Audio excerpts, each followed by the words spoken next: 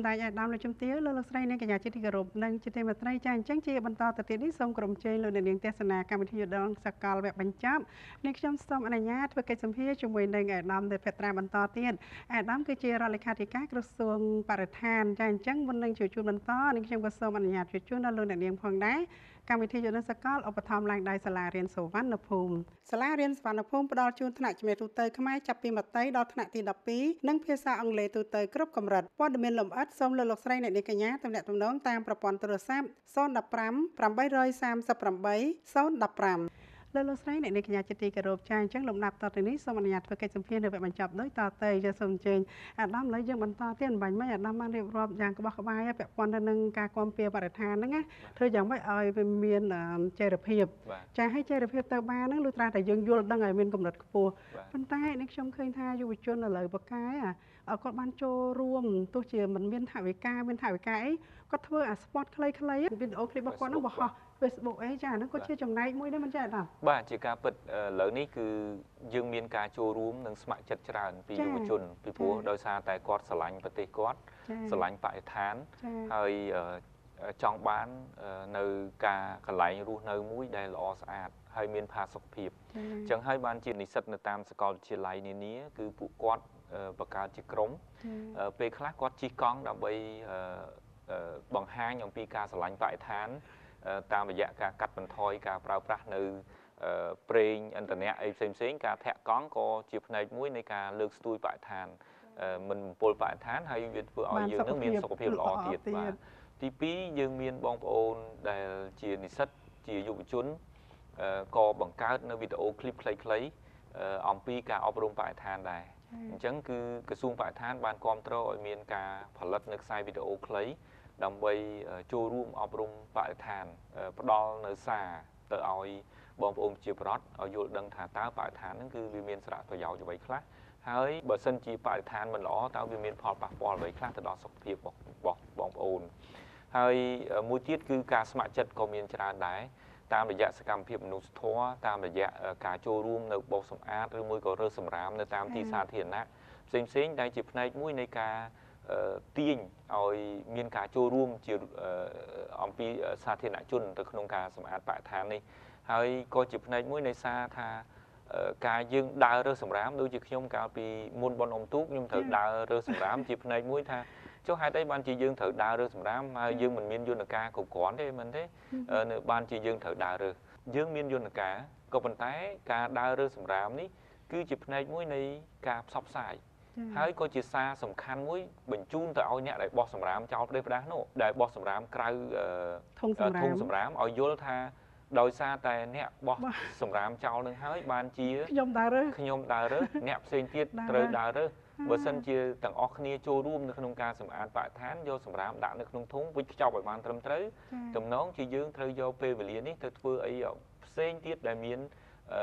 ផលប្រយោជន៍ច្រើនជាងនឹងសម្រាប់បរិស្ថានរបស់យើងអញ្ចឹងនេះគឺជាអ្វីមួយដែលយើងធ្វើយុទ្ធនាការនៅក្នុងការកែប្រែនៅការផ្លាស់ប្ដូរផ្នត់គំនិតរបស់គាត់ដែលទម្លាប់មិនល្អហើយជាក់ស្ដែងមួយចំនួនពេលដែលយើងដើររើសសម្រាមបងប្អូនខ្លះគាត់អៀនខ្លួនឯងដែរពេលដែលគាត់មានសម្រាមហ្នឹងគឺគាត់ពីមុនមកគាត់ធ្លាប់តែផុយដៃគាត់គឺបោះចោលក៏ប៉ុន្តែពេលដែលគាត់ឃើញយើងដើររើសសម្រាមឬមួយក៏អីគឺគាត់ ពេលខ្លះខ្ញុំឃើញគាត់ទៅរើសសម្រាមដែលគាត់បោះចោលហ្នឹងយកមកដាក់ក្នុងធុងរបស់គាត់ដែរពីព្រោះហាក់ដូចជាមានការខ្មាស់អៀនសម្រាប់ខ្លួនឯងដែរអញ្ចឹងនេះជាផ្នែកមួយដែលលើកតម្កើងនៅរូបភាពនៃការឃោសនាការផ្សព្វផ្សាយការកែប្រែនៅអេរិយាបថដែរបាទចាសំស្របពាក្យចាស់ធ្លាប់និយាយថាគេផ្ចាញ់នឹងអ្នកកំណាញ់គឺថាផ្ចាញ់គាត់ទៅវិញគឺនឹងឲ្យបើគាត់កំណាញ់យកសារឲ្យគាត់ ហើយដើម្បីឲ្យបងប្អូនកែប្រែកុំឲ្យបោះចោលសម្រាមគឺយើងមានតែរើសម្រាមគាត់ដែលគាត់បោះចោលនឹងបាទជំនួសគាត់វិញចាប៉ុន្តែឥឡូវនេះឃើញការផ្លាស់ប្ដូរនឹងច្រើនហើយច្រើនក៏ប៉ុន្តែអ្វីដែលយើងចង់បានយើងចង់ឲ្យថាអញ្ចេះយើងធ្វើអញ្ចឹងចោះឲ្យកុំចាំបាច់ឲ្យមានការផាកពិន័យចាំយើងអនុវត្តនោះវាមិនល្អទេមែនទេបាទអ្វីដែលសំខាន់នៅក្នុងបញ្ហាសម្រាមនេះគឺយើងប្រើប្រាស់ការអប់រំច្រើនជាងការផាកពិន័យបើយើងជាផាកពិន័យមិនតិចទេ ច្រើនណាស់ក៏ប៉ុន្តែយើងចង់ឲ្យថាការផាកវិន័យគ្រាន់តែជាមធ្យោបាយមួយក៏ប៉ុន្តែការអប់រំគឺជាមូលដ្ឋានគ្រឹះដែលធ្វើឲ្យមនុស្សនឹងគឺមានការស្រឡាញ់បរិស្ថានចេញពីបេះដូងអញ្ចឹងទោះបីជាយើងផាកលុយគាត់ផាកប្រាក់គាត់ច្រើនយ៉ាងណាក៏ដោយក៏ប៉ុន្តែបើយើងមិនបានកែប្រែនៅអរិយាប័ត្រនិងការកែប្រែចិត្តគំនិតរបស់គាត់ទេ គឺយើងនៅតែ បន្តអនុវត្តអញ្ចឹងអញ្ចឹងបញ្ហាសំខាន់រវាងការបកផ្សាយនិងផលិតភ្លើងតើយើងត្រូវធ្វើមួយណាអញ្ចឹងគឺយើងត្រូវផលិតភ្លើងតាមរយៈការអប់រំឲ្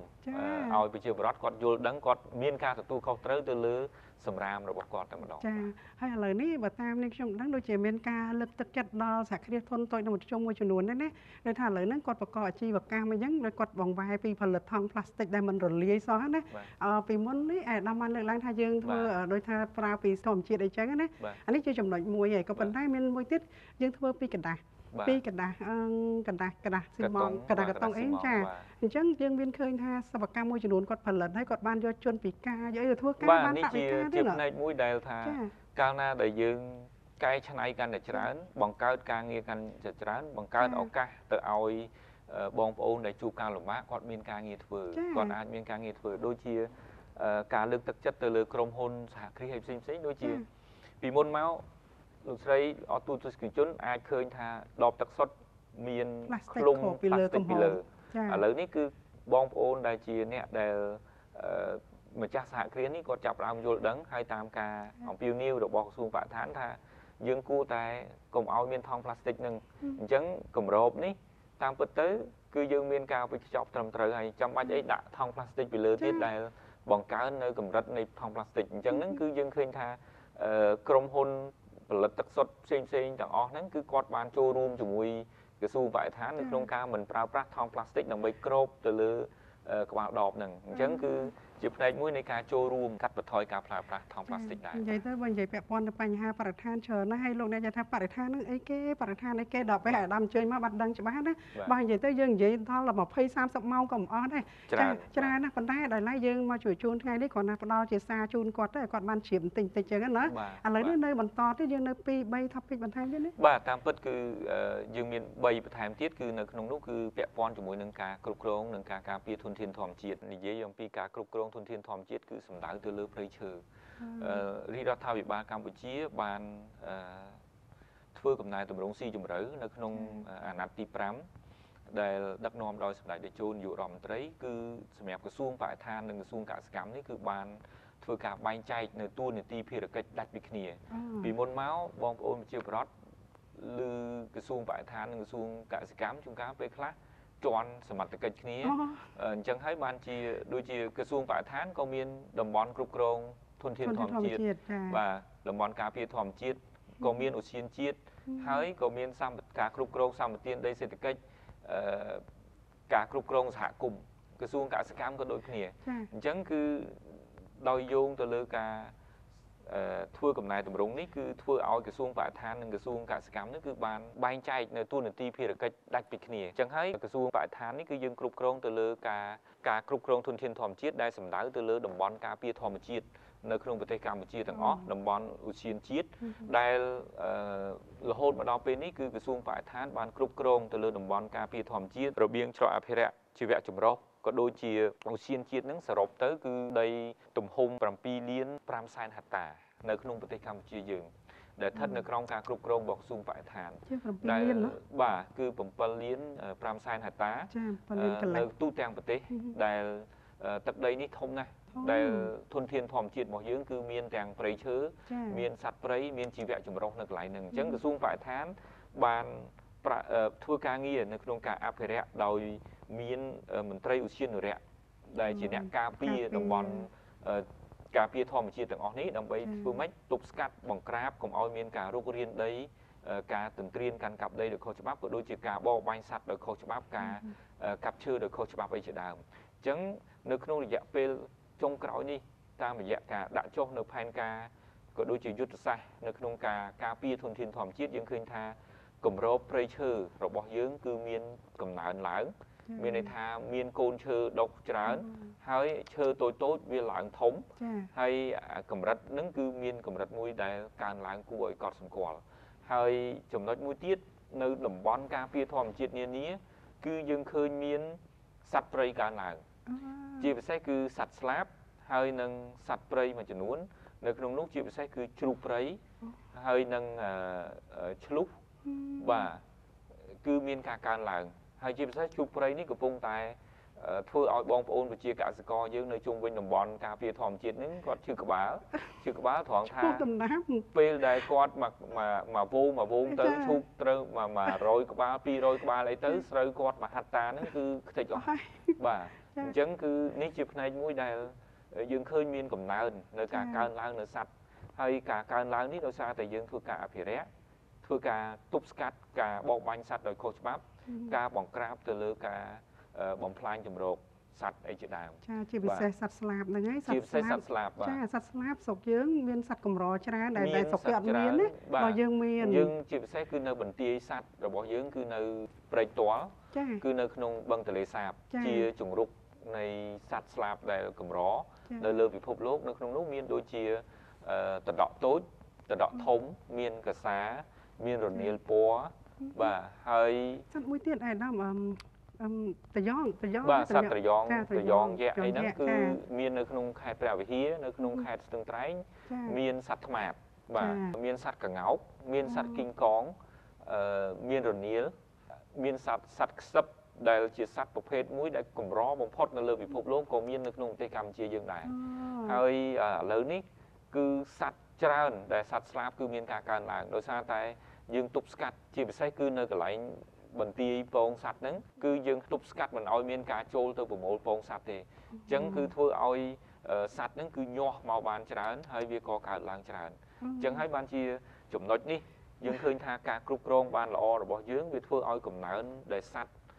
ធ្លាប់តែត្រូវបានបបបាញ់ដោយខុសច្បាប់ធ្លាប់តែអីហ្នឹងគឺមានការកើនឡើងយើងសួរថាចុះបើការពារអញ្ចឹងហេតុអីបានជានៅកន្លែងមួយចំនួនមានលក់សាច់សัตว์ឬមួយក៏អី តាមពិតទៅដូចជាជ្រូកព្រៃអីឥឡូវគឺយើងចាប់ផ្ដើមបន្សាំវាឲ្យមានការចិញ្ចឹមតាមសហគមន៍ដែលចំណុចនេះ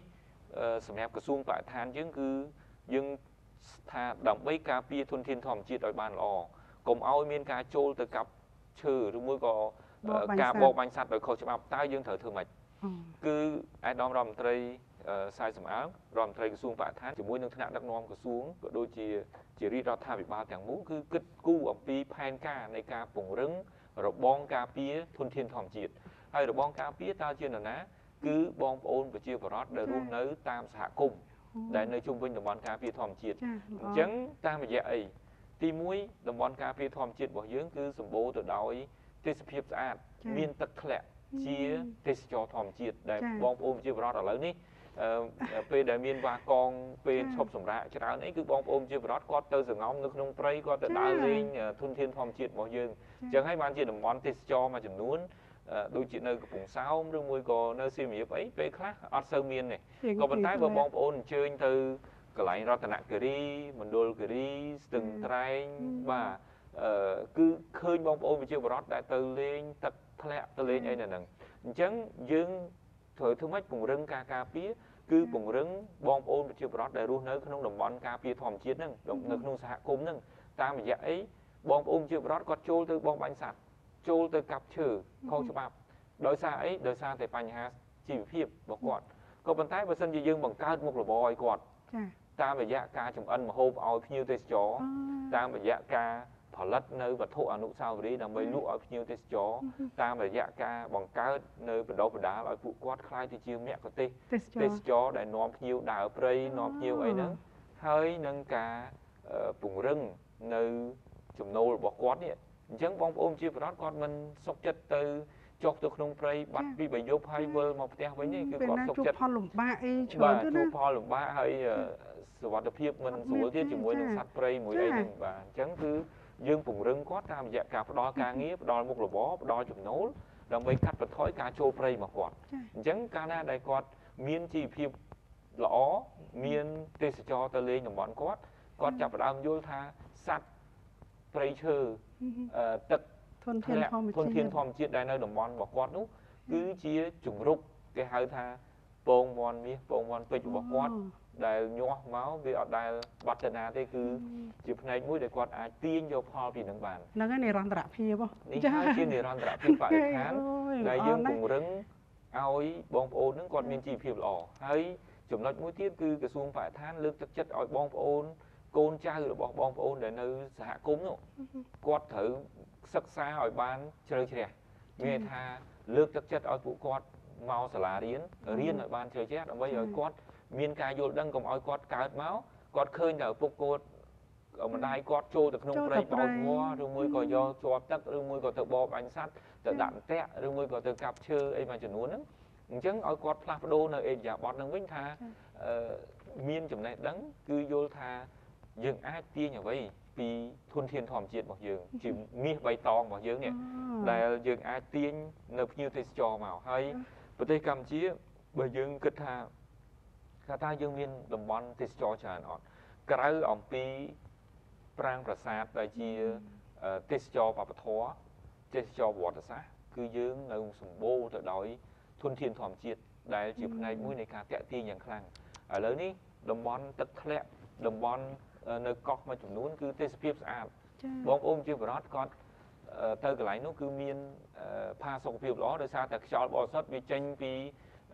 ផ្សែងពុលចេញពីអីអញ្ចឹងគឺធ្វើឲ្យគាត់នឹងមានអារម្មណ៍ជ្រះថ្លាហើយ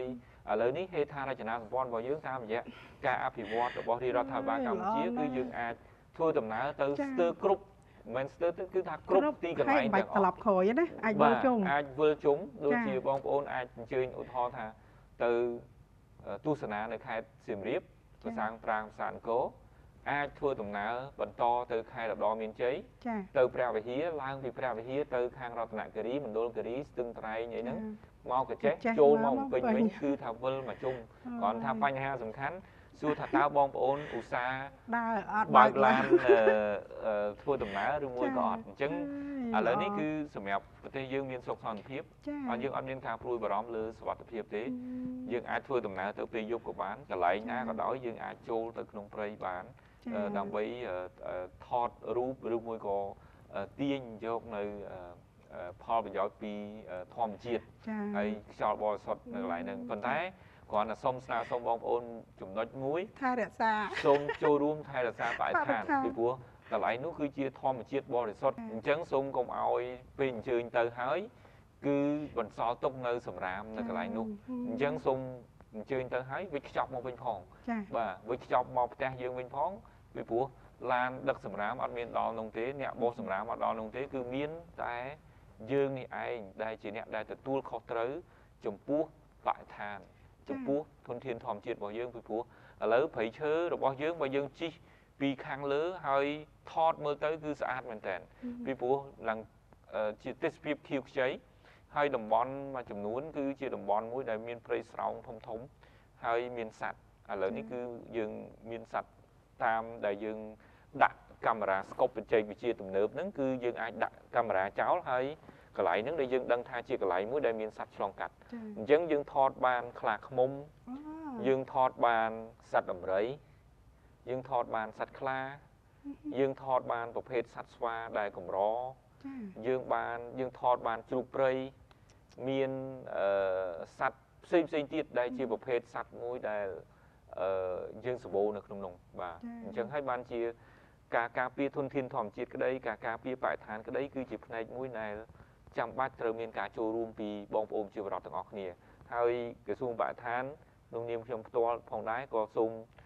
កោតសរសើរចំពោះបងប្អូនប្រជាពលរដ្ឋមួយចំនួនដែលគាត់ស្រឡាញ់បរិស្ថានហើយពេលខ្លះគាត់ឃើញបងប្អូនខ្លះគាត់ទៅចូលចាប់សัตว์យកលក់នៅតាមផ្លូវទោះបីជាមិនសម្បូរថវិកាក៏ដោយ គាត់ក៏បានចំណាយលុយនេះទៅទិញសัตว์ដែលនៅរស់ហ្នឹងដើម្បីយកទៅប្រឡែងនៅក្នុងព្រៃវិញដែលមានមាននៅតាមតំបន់មួយចំនួននៅក្នុងប្រទេសកម្ពុជារបស់យើងបាទហើយគាត់បានថត Facebook តាមបង្ហោះតាម Facebook តាមអីហ្នឹងគឺយើងបានទទួលព័ត៌មានអញ្ចឹងមកហើយចំណុចថែមមួយទៀតបងប្អូនយើងមួយចំនួនក៏ចូលរួមនៅក្នុងការផ្សព្វផ្សាយអំពីភាពសម្បូរបែបនៃបរិស្ថាននៃធនធានធម្មជាតិរបស់យើងដែរ ថ្មីថ្មីនេះគឺក្រសួងបរិស្ថានដោយគ្រប់គ្រងទៅលើការប្រណាំងរថយន្តប្រណាំងម៉ូតូហ្នឹងគឺពួកគាត់នាំអ្នកដែលមកពីខាងក្រៅហ្នឹងគឺជិះកាត់តំបន់ការពារធម្មជាតិដើម្បីឲ្យរូបភាពទាំងអស់នេះត្រូវបានបង្ហាញទៅដល់ប្រទេសនៃក្រមកីឡាករដែលមកចូលរួមប្រកួតប្រជែងនៅក្នុងប្រទេសកម្ពុជា ជាផ្នែកមួយនៃការប្រាប់ទៅដល់ពិភពលោកថាកម្ពុជាយើងមានសន្តិភាពកម្ពុជាយើងមាន ធនធានធម្មជាតិសម្បត្តិវប្បធម៌ដែលជាកន្លែងមួយដែលផ្ដល់នៅការទេសនាដែលមិនចេះនឿយណាយមិនចេះធុញទ្រាន់ពីព្រោះមានប្រាសាទមានធនធានធម្មជាតិមានសត្វព្រៃដែលជាផ្នែកមួយគឺធ្វើឲ្យបងប្អូននឹងអាចថាស្រស់ស្រាយពីការងាររបស់គាត់ដែលធ្វើការងារហត់នឿយគាត់អាចមក ប្រទេសកម្ពុជាឬមួយក៏បងប្អូនប្រជាពលរដ្ឋនៅរាជធានីភ្នំពេញឬមួយនៅតាមខេត្តផ្សេងៗក៏ដោយធ្វើការងារហត់គាត់អាចនឹងធ្វើដំណើរធ្វើដំណើរកំសាន្តនៅតាមតំបន់រមណីយដ្ឋានធម្មជាតិផ្សេងៗហើយដោយដែលលោកស្រីបានមានប្រសាសន៍អញ្ចឹងបើថាឧស្សាហ៍បើកឡានគឺអាចថាចេញមកជុំប្រទេសកម្ពុជាពីព្រោះឥឡូវខ្លាយក្រវ៉ាត់ ព្រំដែនរបស់យើងគឺផ្លូវស្អាតទាំងអស់ល្អចាហើយមួយវិញទៀតអាយដាមនេះខ្ញុំសូមកោតសរសើរដល់យុវជនសម័យថ្មីយើងឥឡូវណាឥឡូវនេះមានផ្នត់កំណត់មួយគឺគាត់គិតថាគាត់គិតឃើញត្រូវច្រើនណាអញ្ចឹងគាត់ចូលរួមទោះជាជ្រុងណាមួយក៏ដោយចូលរួមទាំងអស់គ្នាហើយបើស្ដាប់ស្ដាប់អាយដាមរៀបរាប់ទៅក្រសួងបរិស្ថានគឺជាក្រសួងសម័យមួយដែលបាននឹងកំពុងតែធ្វើការយ៉ាងសកម្មជាមួយនឹងបរិស្ថានមានន័យថាទាំងធម្មជាតិទាំងជីវៈចម្រុះទាំងអីសពគ្រប់លក្ខណៈអញ្ចឹងទៅនៅពេលដែលការពីអភិរក្សបានហើយពេលហ្នឹងយើង តទៅទៀតទេសចរបាទបន្ទាប់ពីទេសចរបានហើយតើយើងត្រូវធ្វើអីទៀតយើងយើងតាក់ទងទៅដល់កីឡាកីឡាឃើញគិតទៅសាយខនៅវិលជុំមានឱកាសបង្កឱកាសក្នុងការទាញយកនៅសកម្មភាពក៏ដូចជាផ្នែកផ្សេងផ្សេងដើម្បីបង្ហាញចេញទៅខាងក្រៅថាយើងសម្បូរធនធានធម្មជាតិហើយប្រទេសកម្ពុជាយើងអត់ខ្វះកន្លែងដើរទេចា៎ កុំថាទៅតាមយើងមានតែអង្គរវត្តមានតែឆ្នេរសមុទ្រក៏ប៉ុន្តែតាមពិតយើងអាចចោទសួរថាតើយើងបានដើរគ្រប់ខេត្តនៃប្រទេសកម្ពុជាហើយឬនៅហើយបានទាញថាតើមានស្គាល់ថាតើខេត្តអឺមណ្ឌលគិរីខេត្តរតនគិរីឬមួយក៏ស្ទឹងត្រែងតើមានអ្វីដែលជាអឺភាពតាក់ទាញដែរឬមួយក៏អត់ខ្ញុំឃើញថាកន្លងទៅនេះគឺបងប្អូនឥឡូវនេះគាត់កំពុងតែស្ងោចសរសើរនៅទេសភាព នៅខេត្តមណ្ឌលគិរីខេត្តរតនគិរីដែលពេលខែប្រាំងគឺដូចជាព្រុងកំរាលមាសអញ្ចឹងគឺក្រហមតែដល់ពេលពេលរដូវវស្សាគឺទេសភាពខៀវស្ងាត់បៃតងអញ្ចឹងជាមួយនឹងផ្លូវខ្សែក្រវ៉ាត់កាត់ខ្វាត់ខ្វែងនៅកន្លែងហ្នឹងគឺធ្វើឲ្យរូបភាពមួយចំនួនបងប្អូនយើងមួយចំនួនដែលគាត់មិនសូវជាដើរឆ្ងាយ គាត់ហាក់ដូចជាថាកន្លែងហ្នឹងជាប្រទេសគេផ្សេងមិនមែនប្រទេសកម្ពុជាតាមពិតជាប្រទេសកម្ពុជាហើយយើងមិនចាំបាច់មើលអ្វីទេនៅតែរាជធានីភ្នំពេញចា៎ដែលនៅជុំវិញមាត់ទន្លេអាគារឥឡូវនេះគឺខ្ពស់បាទហើយបងប្អូនខ្លះដែលគាត់ថតទៅគាត់ស្មានថានៅហុងកុងឬមួយក៏នៅសិង្ហបុរីឬមួយក៏នៅសហរដ្ឋអាមេរិកបើបងប្អូនថតពីខាងក្រោយមកខាងខាងនោះមកវិញឃើញអាគារខ្ពស់ខ្ពស់ចេញមកគឺគាត់ស្មានតែនៅញូវយ៉ក ឬមួយក៏អីផ្សេងផ្សេងអញ្ចឹងហើយនេះហើយដែលជាផ្នែកមួយនៃផ្លែផ្កានៃសន្តិភាពដែលយើងមានឱកាសនៅក្នុងការអឺគិតគូរអំពីការកសាងប្រទេសហើយយើងគិតគូរបន្ថែមទៀតជាមួយនឹងការគិតគូរអំពីបញ្ហាបរិស្ថានបើសិនជាប្រទេសយើងមានសង្គ្រាមតើយើងមានឱកាសឯណាទៅក្នុងការការពារព្រៃឈើរបស់យើងការពារសត្វរបស់យើងនៅក្នុងព្រៃចា៎អញ្ចឹងគឺយើងអត់មានទេ ប៉ុន្តែផ្ទុយមកវិញបើយើងមានសង្គ្រាមធនធានធម្មជាតិរបស់យើងនឹងចាត់ខ្ចាយហើយនឹងបាត់បង់ប៉ុន្តែដោយសារតែឱកាសនៃសន្តិភាពនេះហើយដែលធ្វើឲ្យយើងនឹងគឺមានឱកាសនៅក្នុងការគិតគូរអំពីបរិស្ថាន អំពីធនធានធម្មជាតិអំពីការអភិរក្សជីវៈចម្រុះដែលសំខាន់ណាគឺជីវៈចម្រុះនេះក៏ជាផ្នែកមួយដែលធ្វើឲ្យអឺធនធានធម្មជាតិយើងសម្បូរបែបការអភិរក្សជីវៈចម្រុះរួមនឹងការថែរក្សានៅធនធានធម្មជាតិខ្លះឧទាហរណ៍ ក្រសួងបរិស្ថានបានគ្រប់គ្រងឲ្យមានការបង្កើតនៅមជ្ឈមណ្ឌលសិក្សានិងស្រាវជ្រាវកេសរកូលសុកអានភ្នំកូលែនដែលនៅជើងភ្នំកូលែននេះគឺយើងមានការរៀបចំឲ្យមានការអភិរក្សនិងកន្លែងសិក្សាកេសរកូលគឺផ្កាអ័រគីដេនេះឯងនៅក្នុងប្រទេសកម្ពុជាយើងគឺមានផ្កាអ័រគីដេរហូតដល់ជាង500ប្រភេទដែលយើងស្រាវជ្រាវពីតំបន់ការពារធម្មជាតិផ្សេងៗ ដើម្បីបង្ហាញភ្ញៀវទេសចរផងពីព្រោះនៅសៀមរាបមានទេសចរច្រើនទី2គឺដើម្បីរក្សានៅពូជប្រភេទផ្កាអ័រគីដេ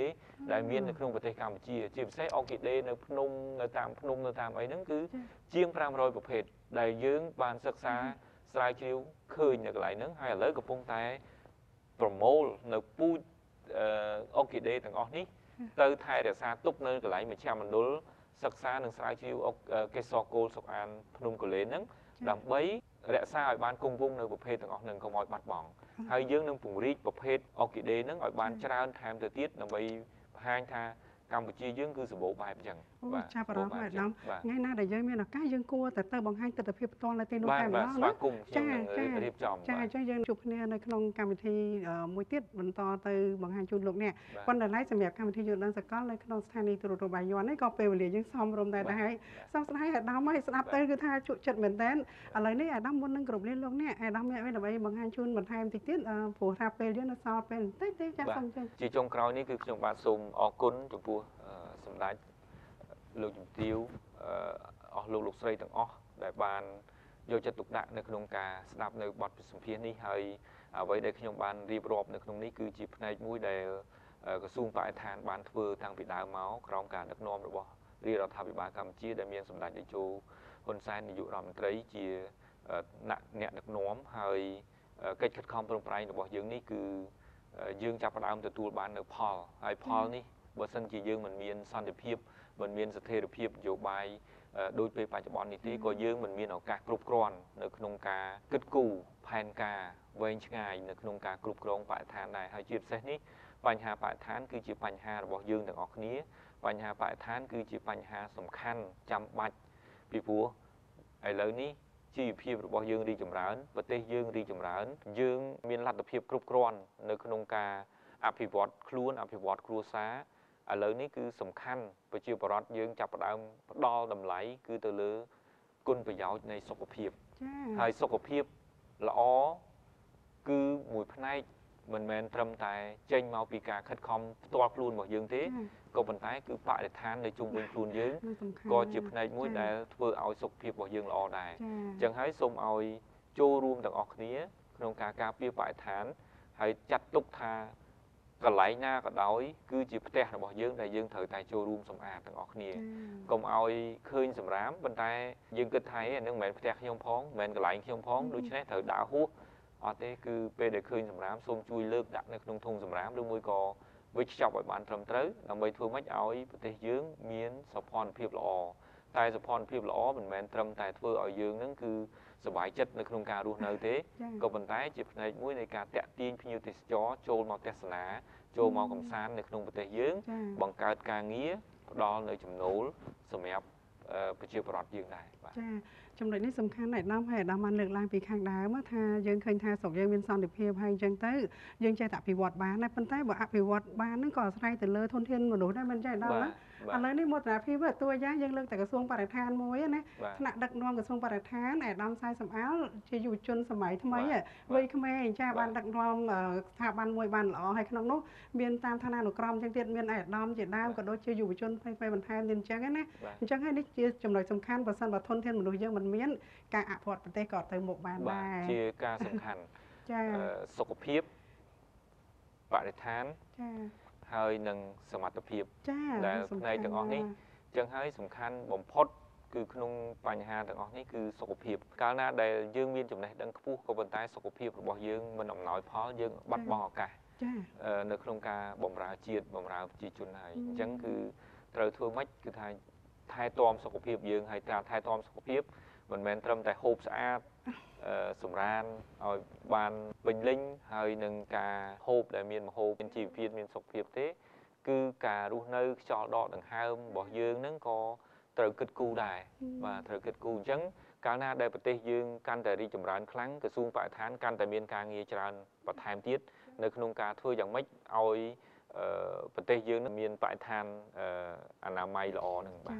ចាចាសំខាន់អញ្ចឹងថ្ងៃនេះសូមគោរពថ្លែងអំណរគុណសាជាថ្មីចំពោះអាដាមដែលបានជើញចូលរួមហើយក្នុងនោះដែរនេះខ្ញុំក៏សូមគោរពថ្លែងអំណរគុណ ដល់អាដាមសាយសំអាលដែលជារដ្ឋមន្ត្រីក្រសួងបរិស្ថានដែលជានិច្ចការដែលតាមតែងតែសហការជាមួយនឹងទូរទស្សន៍បាយ័ននៅគ្រប់កម្មវិធីដែលពាក់ព័ន្ធទៅនឹងបញ្ហាបរិស្ថានអញ្ចឹងលើកក្រោយយើងនឹងលើកយកវិធានបទថ្មីថ្មីមកជួយជូនលោកអ្នកទៀតមិនចាអាដាមណាចាចាចាអរគុណចាអញ្ចឹងនៅពេលនេះដែរលោកលោកស្រីអ្នកនាងកញ្ញាជាទីគោរពនិងជាទីមេត្រីបាយញ់មិញនេះលោកនាងបានស្ដាប់កិច្ចសម្ភាសន៍រវាងនេះខ្ញុំជាមួយនឹងអាដាមនេតភត្រាដែលជារដ្ឋលេខាធិការក្រសួងបរិស្ថានអញ្ចឹងប្រសិនបើកិច្ចសម្ភាសន៍រវាងនេះខ្ញុំជាមួយនឹងអាដាមខុសទាស់ដោយប្រការណាមួយមិនគប្បីនោះនេះខ្ញុំក៏សូមខន្តីអភ័យទោសសូមគោរពជូនពរដល់សម្ដេចអាដាមលោកជំទាវលោកលោកស្រីអ្នកនាងកញ្ញាទាំងអស់សូមសំប្រកបតែសេចក្តីសុខគ្រប់ប្រការនេះឱកាសនេះនេះខ្ញុំរួមជាមួយនឹងអាដាមព្រមទាំងក្រុមការងារសូមគោរពលាសូមអរគុណ